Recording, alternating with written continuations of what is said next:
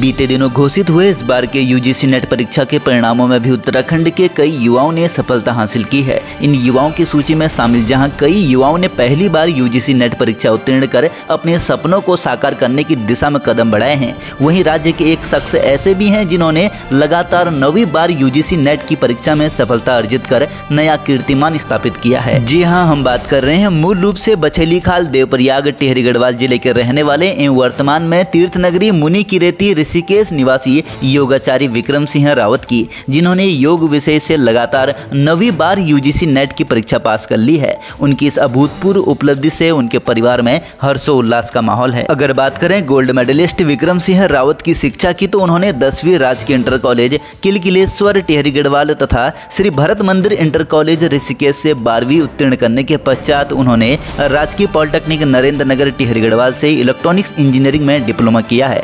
साथ ही देहरादून से कंप्यूटर हार्डवेयर एवं नेटवर्किंग का कोर्स किया है। इसके पश्चात हेमोती नंदन बहुगुणा विश्वविद्यालय से ग्रेजुएशन किया। बता दें कि पतंजलि विश्वविद्यालय से योग विषय में पीएचडी करने वाले योगाचार्य विक्रम सिंह रावत नवी बार यूजीसी नेट परीक्षा उत्तीर्ण करने के बाद अपने क्षेत्र के साथ ही सोशल मीडिया पर भी चर्चाओं में है। लगातार नौवीं बार यूजीसी नेट की परीक्षा उत्तीर्ण करने वाले गोल्ड मेडलिस्ट विक्रम ने उत्तराखंड संस्कृत विश्वविद्यालय हरिद्वार से योग विषय में एमए की डिग्री हासिल की थी।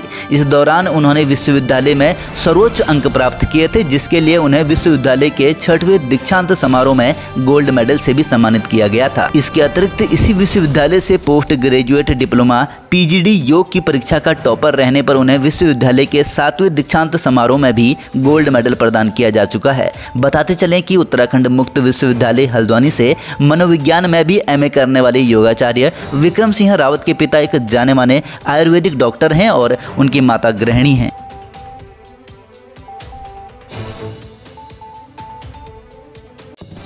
बने रहिए पहाड़ से मैदान की हर खबर के लिए देवभूमि दर्शन के साथ।